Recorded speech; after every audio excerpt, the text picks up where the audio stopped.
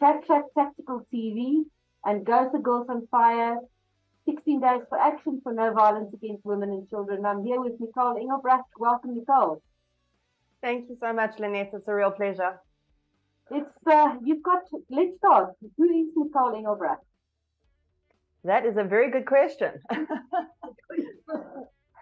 and I think four years ago, I would have given you a very different answer than I'm about to give you. Um, but yeah, so essentially, um, I am a true crime podcaster and a, a true crime author. Um, that has been my my life really for the last four years, which I'm very grateful for because it's all gone, yeah, it's all all sort of exploded at once, and it's been really really great to sort of immerse myself in something different. Um, and then you know before that, I, I, worked in corporate for 20 years, so did something completely different. Um, but right now, true crime is pretty much my life in, in book form, in podcast form, in um, you know doing some uh, TV series and that sort of thing. So that's pretty much what I do. Right, I actually haven't heard about the TV series so let's have a chat a bit about that as well later. Tell me a bit about your true crime podcast and why do you say it's a victim focused podcast? When did it start? How many programs have you done, etc., etc.? Sure. So, um, you know, when I left my corporate career in 2019, I, my plan was to sort of do a creative entrepreneurship. So, you know, I wanted to have lots of different streams of income, do lots of different um, creative things. You know, I have always been a hobby writer um, and a true crime consumer. So, you know, I realized that there was no there was really no South African true crime podcast out there. And really, what you know brought it to the forefront for me was I was seeing podcasts in America and the UK that they weren't just sort of entertainment. They were actually um, covering, you know, like cold cases and cases that needed awareness that the mass media weren't covering. And they were helping to bring awareness to these cases and bring leads in. And I thought, well, if there's any country in the world that needs something like that, it's South Africa. You know, so that was one of the the reasons behind me going sort of into the true crime podcast. But I thought that that was going to just be a small part of a whole bunch of other things that I was going to do. You know, so I planned to freelance write and do you know other things. But um, as I often say, South Africa had different ideas, and the podcast sort of exploded and has pretty much taken over my life. um, so now I release uh, weekly episodes. I've done so I'm on officially on episode 132 um, with a lot of interviews on top of that, which aren't numbered episodes and mini-sodes and bonus episodes. So probably about 190 episodes in total at the moment since 2019. That's absolutely crazy, but um, South Africa do have. if you look at the amount of serial rapes and other crimes we have, we're uh, we're a very uh, it's it's a very rich environment to do this kind of thing, I suppose.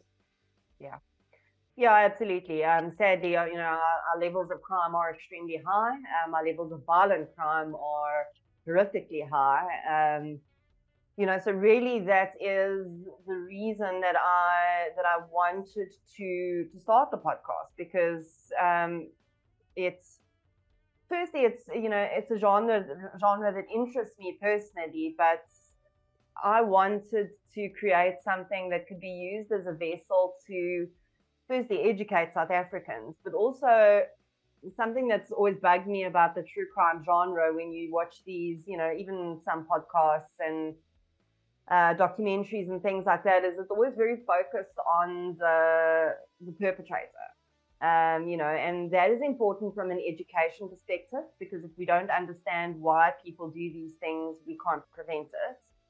But what I've always felt was missing was a focus on the victim and understanding who these human beings who sometimes end up just being headlines, who they were as people.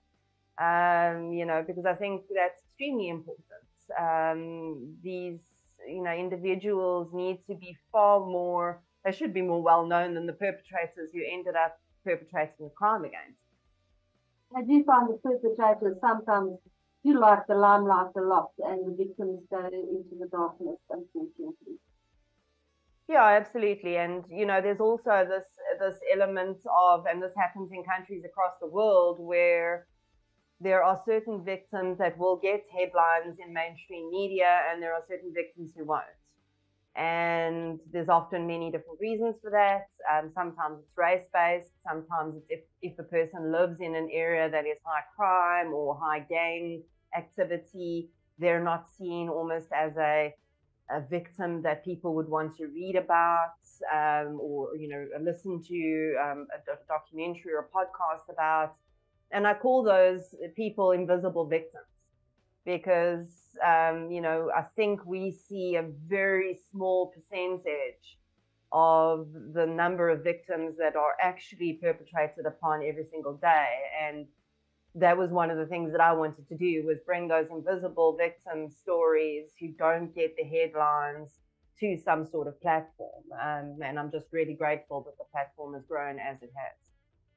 If you think about it, um, if you look at our rape, uh, just, uh, I said one in six, but I think it's a lot more, uh, report their rapes. Um, I discussed this with uh, one of the other people with um, uh, recently, and he said to me, a lady came to to, to work.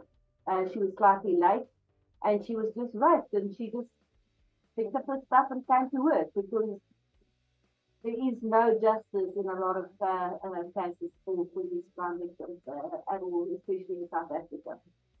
Yeah, no, absolutely. Um, you know, and it starts at a societal level as well. I think, um, I think South Africans have been extremely desensitized to violent crime, but I think South African women have been de- extremely desensitized to sexual assault and rape. Um, you know, with our high numbers, it's almost been expected that if you are born a woman at some point in your life, you will probably experience some form of sexual assault. Um, you know, so that's a very sad part of it that contributes to women not reporting. Um, and of course, the stigma. Um, as much as we've destigmatized rape a lot, um, which I'm very grateful for, there is still a deep stigma that, um, you know, victims and survivors carry around this needless shame that they should have done something to prevent their own sexual assault or rape. And of course, that's completely incorrect, but it's, uh, it's often something that's supported by society and families and communities. Absolutely. So tell me, you mentioned in one of the articles, I think, with in, in one of your interviews, that you sometimes uh, help with uh, you get leads uh, that leads to solving cold cases. Can you tell us a little bit about that? Yeah, so I think that you know, with all the the wonderful things that have happened around the podcast, that has probably been the most important for me, and that's you know, in missing person cases and cold murder cases that I've covered is, um, you know, we've had after the the episodes have been released, sometimes months after someone, you know, because I mean, obviously these episodes remain in the feed and people will listen to them years after they've been released. And on, on quite a few occasions now, I've had people reach out either to me or to the investigating officers in the case and provide new, fresh leads on some of these cold cases. And, you know, some of these leads haven't led anywhere. They're all being investigated. Um, some are still currently being investigated and, and certainly may lead to some resolution in these cases. Um, yeah, so that's that's just been an incredible part of it's exactly what I wanted. Um, I, I wonder if you know. I think maybe in the beginning I thought maybe that was a bit of a pipe dream because I didn't think that people, South Africans, would get around the podcast and support it as much as they have. But I'm really grateful for that because it's not, you know, when people are listening to the podcast and sharing it now, they're not just doing it because they're consuming some content. It's they, they really are empowering themselves and, and helping to make a difference in the a real difference in these cases, which is just it's phenomenal. Let's take a step back. Um, what was your motivation to and your interest in, in crime uh, to actually start this podcast? Uh, what what was your journey to bring you to this particular point? Mm. So I think you know, again, when people ask me have asked me this question throughout my journey, I've had different answers, and I think if you asked me when I started, it would have been a different answer too. You know, the pure motivation, as I've said, was um, to do what I've, I've started to achieve to, you know, create a platform for victims of violent crime in South Africa. But I think my interest in the genre, my, my interest in, in sort of crime and mystery as such has always been there. Uh, you know, going back to like my childhood, I think I already enjoyed like mystery novels and that sort of thing. So that sort of curiosity about the investigative side of it has always been there. Um, but on reflection, I realized that um, what at least one and probably two incidents in me growing up had sort of played a deep role in in sort of my deeper interest in the side of things. And one of that was um, when I was in uh, grade eight. I a, a, a classmate of mine's sister was sadly murdered. Um, she was a, a, young girl. She was in primary school still at the time. This was in Boksburg. I attended Boksburg High. And they were Polish immigrants. And um, this young lady's sister, Eva, was kidnapped and, and murdered in Boksburg. And I think at the time, as my, you know, my very young 13 year old brain, I understood what a horrific thing it was. It was shocking because, you know, when you're 13 years old, you don't think about children your age dying, especially not in that manner. Um, we had just had the whole um, Gert van Rooyen sort of thing play out in, in Boksburg and the surrounding areas. So I think that sort of all melded into one for me. But looking back, I realize now the deep impact that Eva and her case had on. Um, I recent, or not recently, a, while back, I did a, a short episode on her case and included that in the podcast. And, you know, I realize now how once I had left school, I, uh, you know, at the time I didn't know anything about how the case went, or whether they'd arrested anyone, because as a child, you don't really think about those things, you know.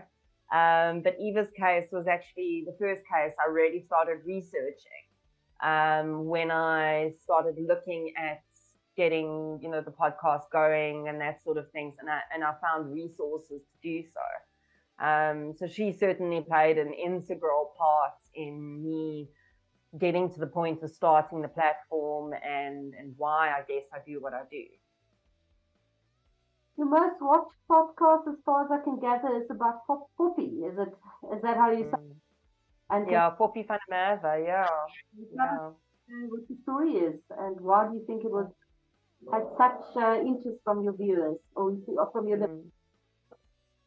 Sure. So um, Poppy der was a, a, very young girl who was sadly terribly abused and neglected and um, essentially murdered by her mother's, um, well, they weren't married, so it was her mother's boyfriend. Um, and, you know, this this case at the time I know rocked South Africa because of the multiple injuries that young Poppy had to her body um, when she was eventually pronounced dead in the hospital. And, you know, I try and space out the child cases that I do on the podcast because I know it's very impactful both for the listeners and for me. Um, it's, you know, those aren't easy cases to discuss. But I think, you know, although a lot of people express that they could not listen to the episode because of the the descriptions of the injuries to her and that sort of thing, and I fully understand that. I think a lot of people really wanted to understand the full story. Um, and that's something that I'm very grateful to be able to do through the podcast as well, because when these cases happen, and look, you know, Poppy's case was quite widely um, discussed at the time, you still only, as a member of the public, you get bits and pieces, and you sort of you paint this picture in your head of what you think happened. But over the years, you know, that becomes distorted, and I think that's that's almost a disservice to the victim. So what I really like about being able to podcast on these true crime cases is to put the facts in one place.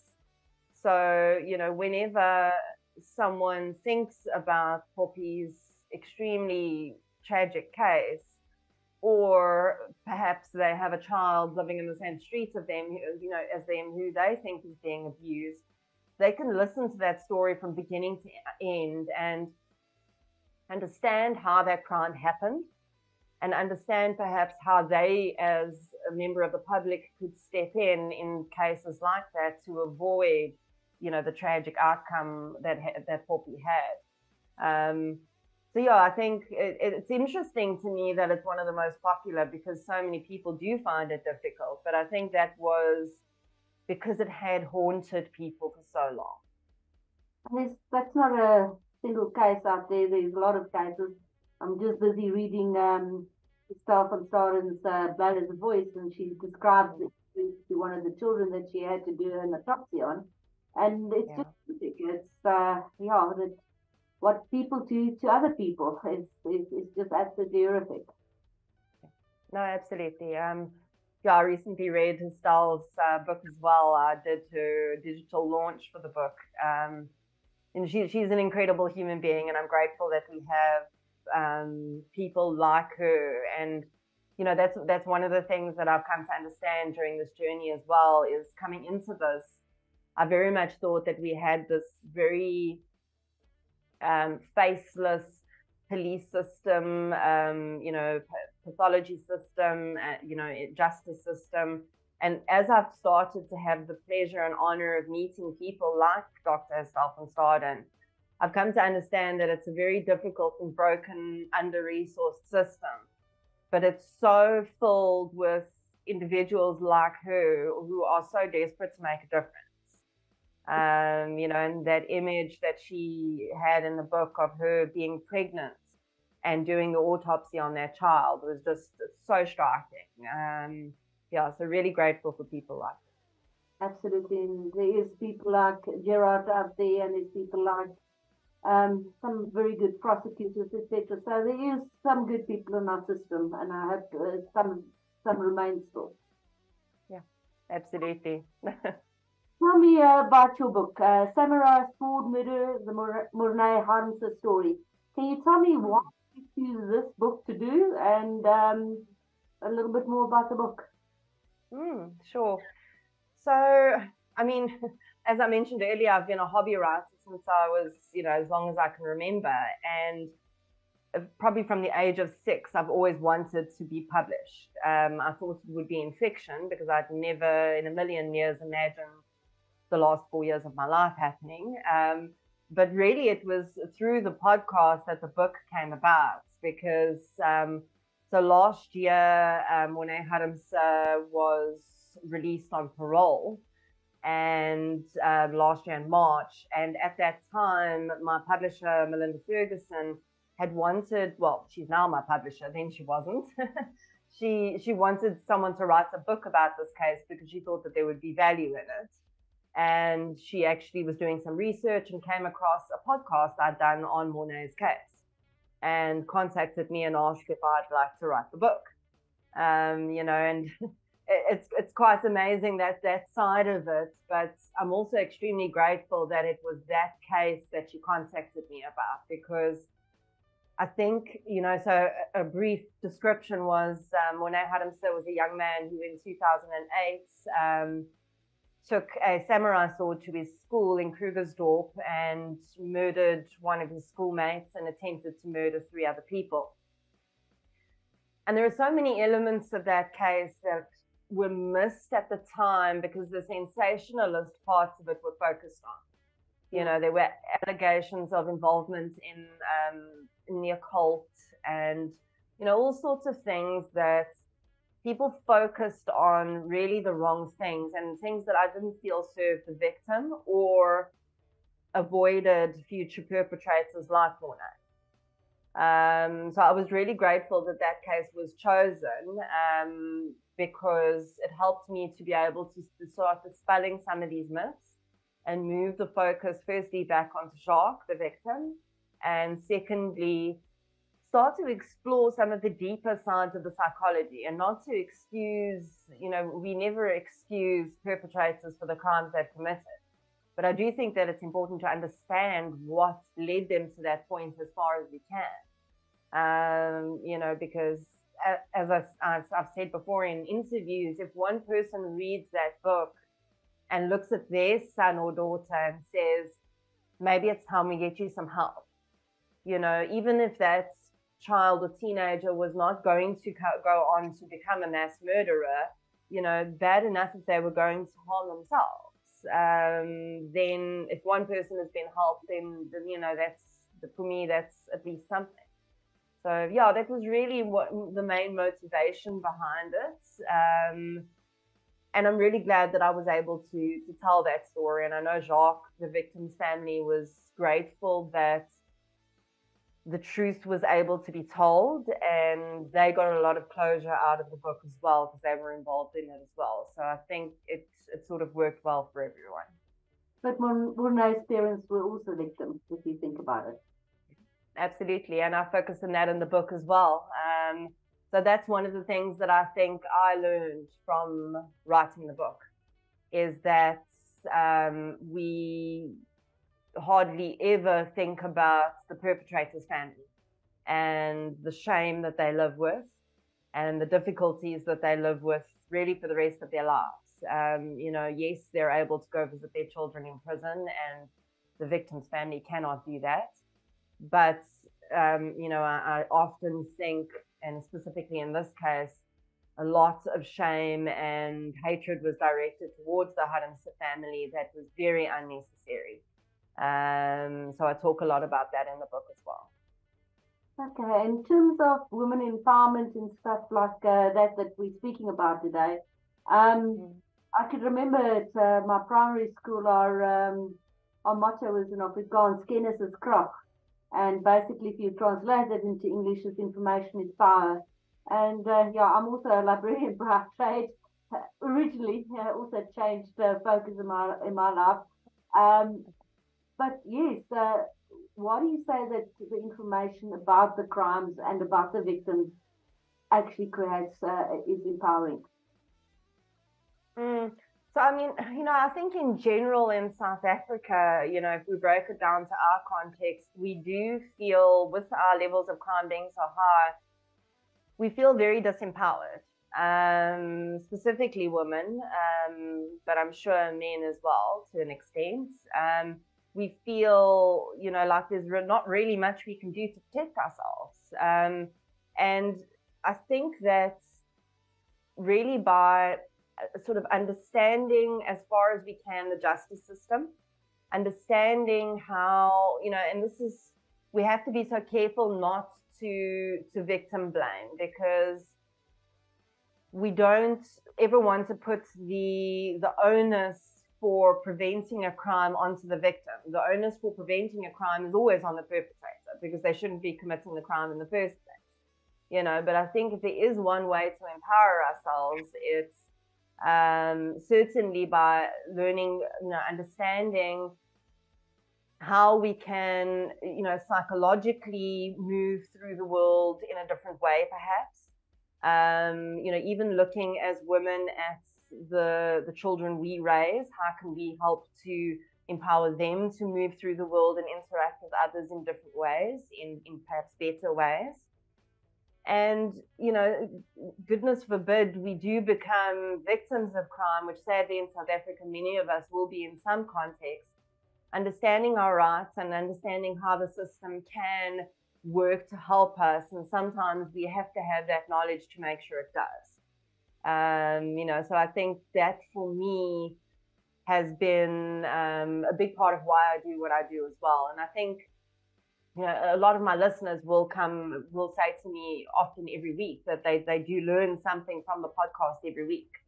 Um, you know, so I try to cover really important topics um, like rape and consent and that sort of thing as well to ensure that I'm using the platform to educate people, uh, to, to empower them in that way.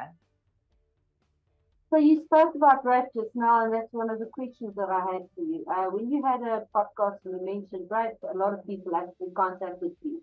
Why was why do you think this happened? I know that we're the rape capital of the world. Um, if you have a look at the amount of rape that takes place, we've uh, touched on it a bit earlier. Why do you think your podcast touched uh, so many people? So I think um, you know the, the specific episode that I did, I I'd interviewed a rape counselor, and we discussed predominantly, you know, we discussed a few different aspects of um, different forms of sexual assault and rape. But one of our biggest conversations around that was consent and the different forms of consent and how consent is given and how consent is not given. Um, we discussed topics like uh, rape within relationships and within marriages. Um, you know, we we really got down into how if consent is coerced, that is considered rape, whether there's violence involved or not. Um, and I think those are things that, especially, you know, like a lot of people contacted me and, and mentioned that they hadn't understood the entire spousal rape um, concept, um, men and women. They were saying, you know, this isn't something that has happened within my marriage, but I'd never actually considered that a man could rape his wife. Um, you know, and if we think about it in South Africa, I think it's only about 20 years ago that spousal rape was actually criminalized. Mm-hmm. You know, so it's those deep conversations that I think often when we talk about rape, we do ourselves a disservice because we, we we talk about it in this violent way where it's going to be some stranger who's going to grab you into an alley. And nine times out of ten, that is not what rape is. Um, it's someone you know. Um, it's maybe coerced consent. It's maybe consent taken away from you by you know during substance use or something like that. Um, it really doesn't look the way we some we are very often talk about it. And i think that's what that episode did for people um, was really get them to start thinking differently about what rape and consent actually is. Um, and then you know i had another episode as well on my so i've got another podcast which is sort of on hold at the moment but that is sort of survivors telling their own stories and I had a young man who told his story of childhood rape where his perpetrator was actually a female and she was a teenager.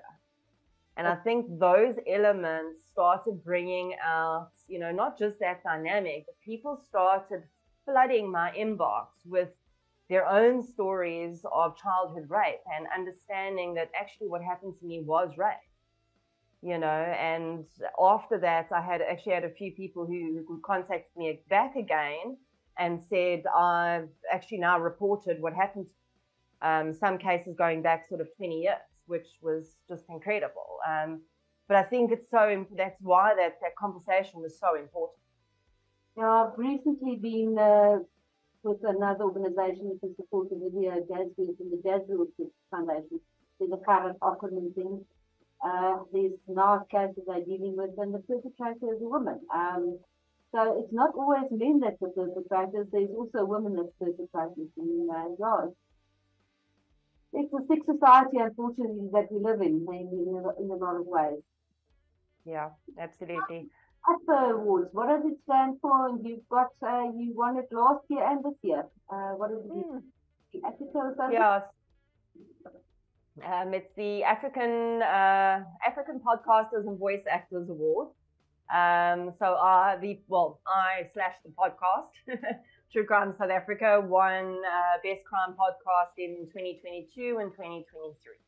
Um, yeah, so that's essentially it. It was quite a, a nice one to win because it's a great organization that's sort of raising the profile for podcasters in Africa as a whole. Um, and I think, you know, podcasting is such a great way for us to be able to tell our own stories.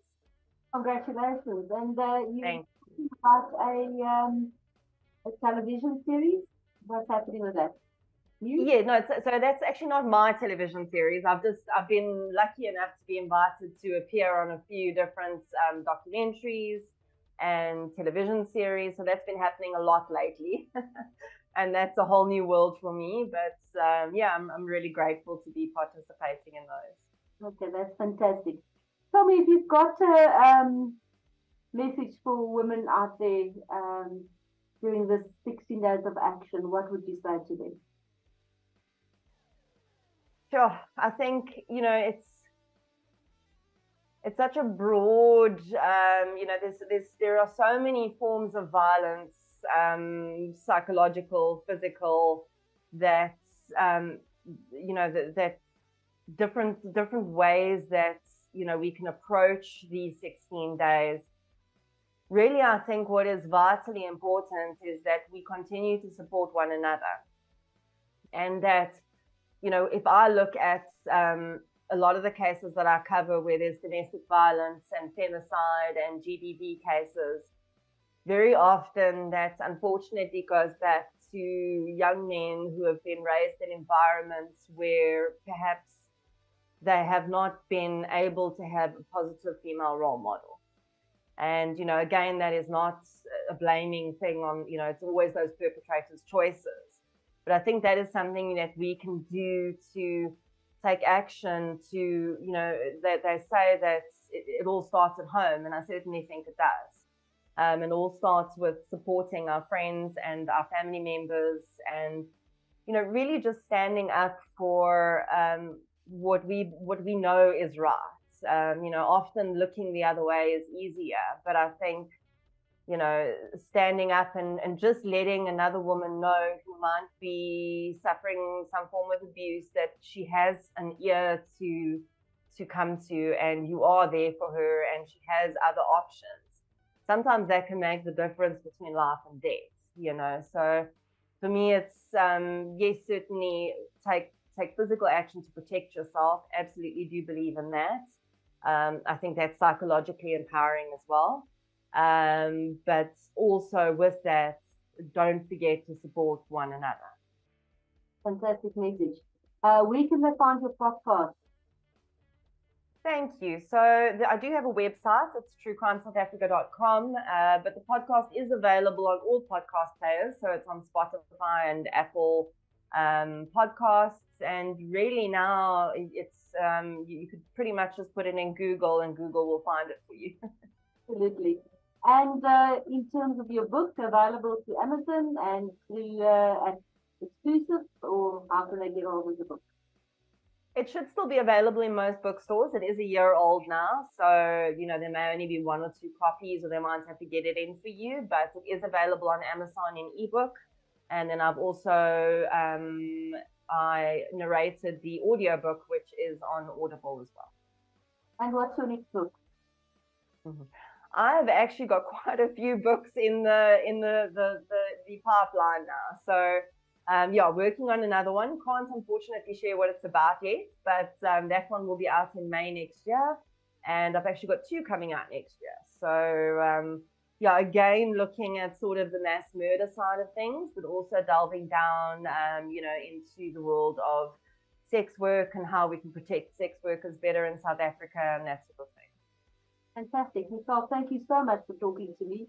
It was lovely speaking to you, and uh, we will definitely meet each other. Absolutely. It was a huge pleasure. Thank you so much, Lynette. Thank you very much.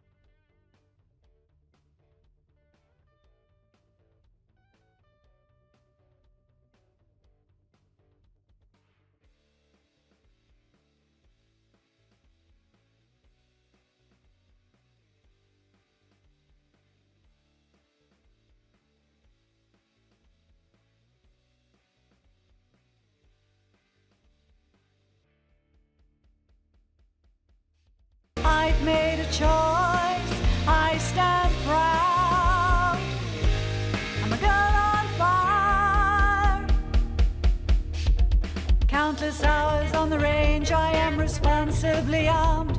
I am your equal. I've empowered myself. I have practiced and trained. Fear won't control me. With my sisters in arms, we will make ourselves heard. We'll stand together. I'm a girl